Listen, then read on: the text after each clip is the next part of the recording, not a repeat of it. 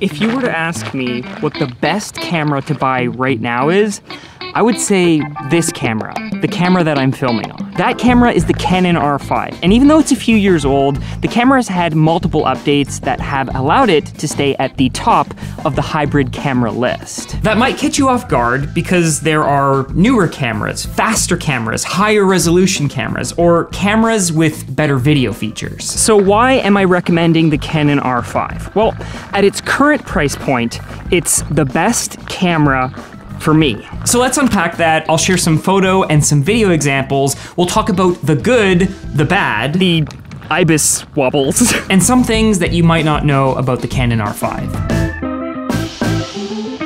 So why did I buy the Canon R5? Well, last year I was looking for a second camera body and I had an R6 at the time and the option I had was to get another R6 or potentially something different. And that's when I started looking at the R5. Now I had big anxiety about spending that much money on a camera, but the reason that I ultimately decided to do it was one, I wanted a camera that had 4K, 120 frames per second for those rare circumstances when you actually need that many frames per second. I also wanted a camera that could shoot longer in 24 frames per second without overheating because the R6 tends to tap out at around 30, 38 minutes, whereas the R5 can record continuously in 24 frames per second without having any issues. I also wanted a camera where the depth of field matched. So I didn't want to go with a crop sensor camera like the R7 but I specifically wanted a camera with hybrid functionality. I also looked at the Canon R5C as a hybrid photo video option, but because I'm more of a photo first shooter, it didn't really fit the bill of what I was looking for in a hybrid camera. So what is a hybrid camera? On one hand, you have photo cameras, and on the other hand, you have video cameras. Now, most mirrorless cameras can do both at the same time, but there's a spectrum of hybrid cameras, ones that are more video centric and others that are more photo centric. With Canon cameras, they tend to be photo first cameras where all their cameras are really great photo features, but then some cameras have more video features than others if that makes sense. The big takeaway here is to look at the resolution of the sensor and how that translates into video resolution. So 12 megapixels is gonna get you 4K, 24 megapixels is gonna start to creep you into that 6K territory, like the R6 Mark II or the R3, and then 45 megapixels, like the Canon R5, that's when you get into the 8K video range. Let's compare some Canon cameras to some Sony cameras. One of the cameras you might be looking at is the a7 IV. It's a really great hybrid photo video option, but because the R5 is a more expensive camera, a lot of its features outrank the Sony a7 IV. Specifically, it has a higher resolution sensor, it can do higher resolution photos and videos. The Canon R5 also has no crop in video mode, which is something that was really important as a hybrid shooter so that when you have a lens attached and you're switching from photo to video mode, the crop or the framing of what you're shooting doesn't change. A more fair comparison would probably be the Canon R5 versus the Sony a7 R5 because both of those cameras are priced very similarly. If you wanna see a direct comparison between both of those cameras, let me know in the comments below. My friend Rich actually just got that camera, so I've had a little bit of time to see how the autofocus works and have those two cameras side by side and compare some of those photos. One of the challenges with the Sony a7 R5 is when you switch into those higher resolution, higher frame rate video modes, you do start to introduce that crop factor.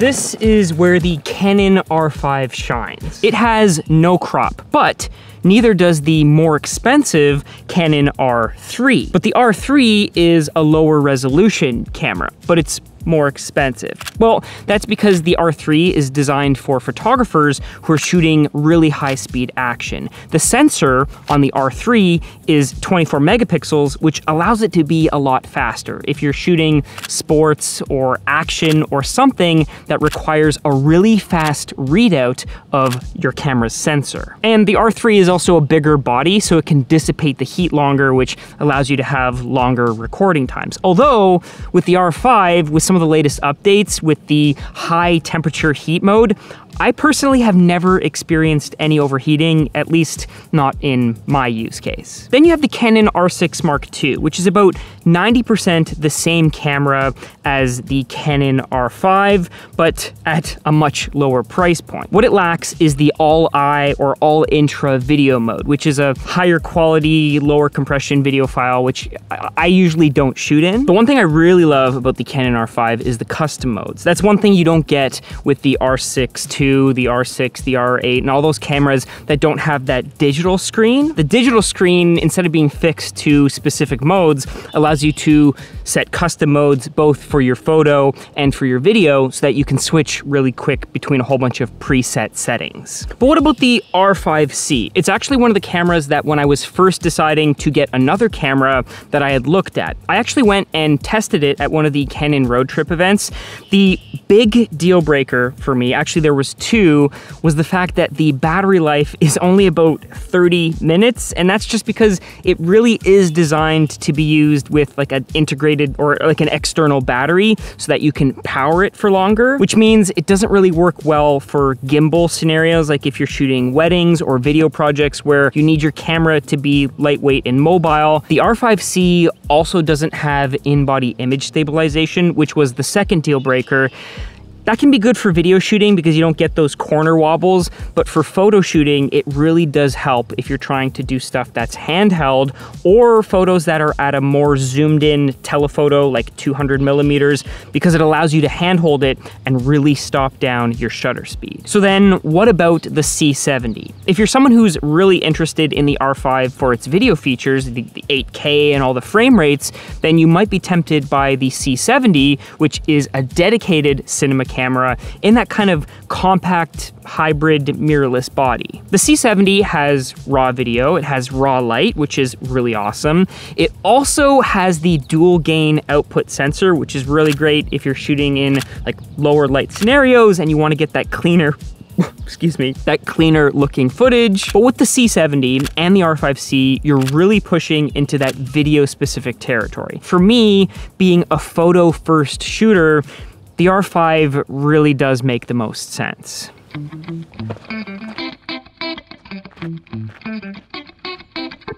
Now, all the photos you're seeing in this video have been edited with my Lightroom presets. And whether you're shooting Canon, Sony, Nikon, or Fuji, all my presets are designed to work on photos from any camera. Now, when I'm editing my photos, even if I'm not using presets, I still like to start with presets as a way to give me an idea of what the edit could look like. So whether you're experienced or you're brand new to Lightroom, presets are a great way to save time. Most of my edits, if I'm doing them from scratch, take me like 15, 20 minutes. But if I'm using a preset, I can cut that way down to like five minutes for a single photo or even less. So if you're interested in saving time editing your photos, you can check out my presets linked down, down here, down there somewhere.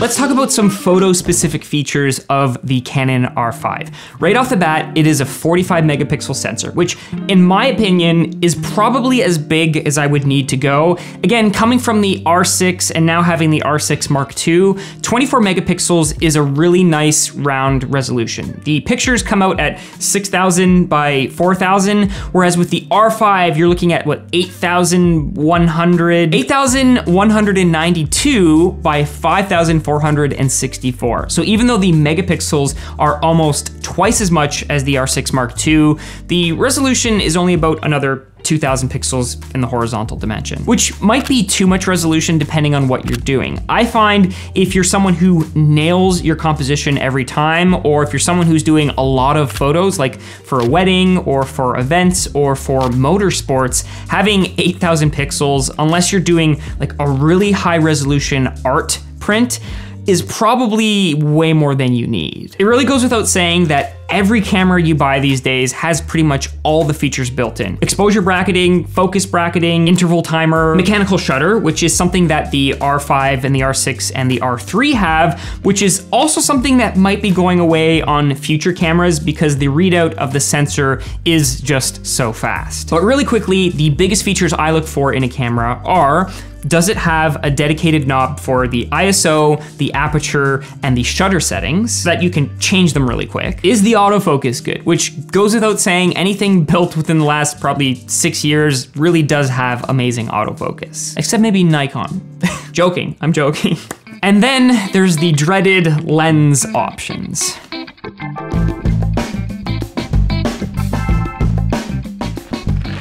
Let's talk about lens ecosystems. Inexpensive lenses are a big deal, especially when you're just getting started.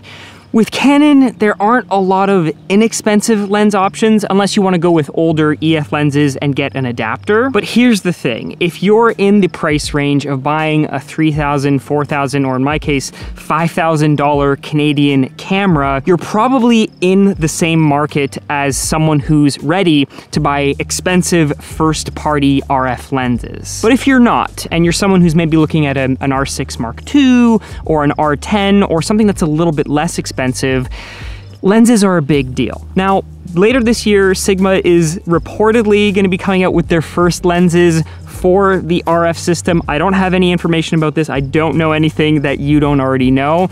So maybe by the time you're watching this, there are already some inexpensive lens options. But that being said, there are some inexpensive RF Canon made lenses. And if you want to check out which ones I recommend, you can check out this video here for the 35 millimeter, which is a fantastic lens because it's got that low aperture setting. There's also the 50 millimeter and the 24 millimeter. But if you're looking for a telephoto lens or a like a 24 to 70 2.8 that's less expensive than the $3,000-ish Canon one, then you might be out of luck. Now personally, I've shot all of my photos on RF native glass. When I made the switch to the Canon R5, I made that decision that I was gonna sell off all my EF lenses so that I could have lenses that I didn't need a lens adapter to actually run them. The other advantage is that the RF lenses do have that third ring that you can program to do like whatever you want. You can control aperture, you can control ISO, you can control pretty much any of the settings on the camera that you could set to like a normal dial,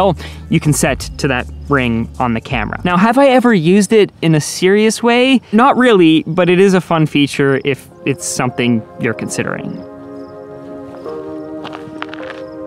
When it comes to video features, the Canon R5 pretty much has everything that you would need as a hybrid photo video shooter. It even has raw video, which is honestly something I've, I've only used once just because the video files are so large. And even though the R5 has that higher quality all intra or all I video mode, I find most of the time I end up using IPB because it fits right in that pocket of quality and file size. Like the files aren't too large and the quality isn't diminished enough where I feel like I need to shoot on all intra to get those larger video files. And then there's the IBIS wobbles, which everyone freaks out about. It's, it's when the corner starts to shake a little bit because of the in-body image stabilization. And usually it occurs at 15 millimeters or 16 millimeters when you're shooting those really wide kind of like vlog style segments where you're, you're kind of shaking with the camera. Now, in my tests, if you zoom in the lens a little bit and you know go past 16 millimeters, maybe it's like 18 millimeters, you don't notice that jello effect as much. The trade-off here is that Canon does a really good job at stabilizing the center of the frame. Like when you look at this test footage, if you were to crop out the edges, the center looks pretty good. And keep in mind, this is only something that will affect video shooters. With photo shooters, IBIS is something that's not gonna negatively impact your photos because your photos aren't moving, they're just static. Let's talk about some features of the R5 that absolutely rock. The first is that it has the same camera body profile as both the R6 and the R6 Mark II, which probably doesn't sound too exciting at first, but the nice thing is that means you can share camera grips or cages or all the same sort of accessories. Also, it has the 400 megapixel stitch IBIS stitch mode, which is a little bit of a novelty because right now you can only do it in JPEG, like there's no RAW version of that feature. When we were at the Grand Canyon and in Utah and Arizona a couple months ago, I actually tested it and did some A and B shots where one was a RAW and one was the stitched pano. Now, when you're shooting in ideal lighting conditions, Shooting with JPEG is is is okay, but it's not ideal. Having this feature in RAW would be absolutely incredible. I don't think we're gonna get it on the R5, but I do expect it in whatever camera that Canon releases next. Also, custom functions. This is something that most people, until you get to the higher end cameras, won't really appreciate or won't even really think about needing. But on the Canon R5, there's a button on the front that allows you to switch, or you can really program it to do anything. But what I've programmed it to do is switch between photo and video mode. So whereas on the R6 and the R10, or the R6 II and the R10, there's this dial that allows you to switch from from photo to video mode, which is great in theory, I, I, find it's a little bit inconvenient to use compared to a button that's just already right by your shutter finger. Also, the high temperature overheating mode. That's something that was introduced with the latest firmware. That means that the camera pretty much no longer overheats in 4K 60, or at least not in my use case. The top screen is also an awesome feature that the R3, the R, and the R5 all share, that you can kind of see everything right at a glance, which some of the other cameras unfortunately don't have. Now, in the future, one thing I would really like to see on the R5 is the addition of unlimited record time. Apparently, we're gonna get that in a firmware update, but we haven't seen it yet, so fingers crossed, or maybe when you're watching this, that feature is already out. I don't really have any problems with the R5 other than the fact that the R6 Mark II now has some features that aren't in the R5 that are making me wish they were in the R5. One of the challenges that I face when using both of those cameras is that the top interface is different. The R6 Mark II has this new dial switch that allows you to switch between photo and video mode, and the power button is in a different location, which can sometimes confuse me when I'm picking up one camera versus the other because in the hand, they feel the same. It's only when you go to flip the power switch that you realize, oh, I'm on the wrong camera. I'm on I'm on the R5. I've, I've just turned it off rather than switching from photo to video mode. So sometimes that can be a little bit confusing. So is it worth it to get the Canon R5? I think it depends on what type of photographer you are. And there are two scenarios. The first is if you're a professional photographer, then by all means get it. It is a workhorse of a camera compared to something like the R3. The R3 is, is a very niche camera. The other case is if you're a casual photographer. If you are, then the R5 is probably a little bit too much of a camera for you. In that case, my recommendation would be something like the R6, R6 Mark II, the R10, the R50, something in that price category because I think you'll get more out of your money investing in a slightly less expensive camera and then using the money that you've saved to invest it into something like higher quality lenses. But that's just my opinion. So I hope you enjoyed this one. I hope you learned a little bit about the Canon R5, even though it's a camera that's been out for a while. Let me know down in the comments below. Do you want to see more dedicated camera reviews, lens reviews like this? And, and not just Canon, maybe Fuji? Sony? Potato Cam? Anyways, that's it for this one. I hope you enjoyed it. And in the meantime, go out, shoot some photos.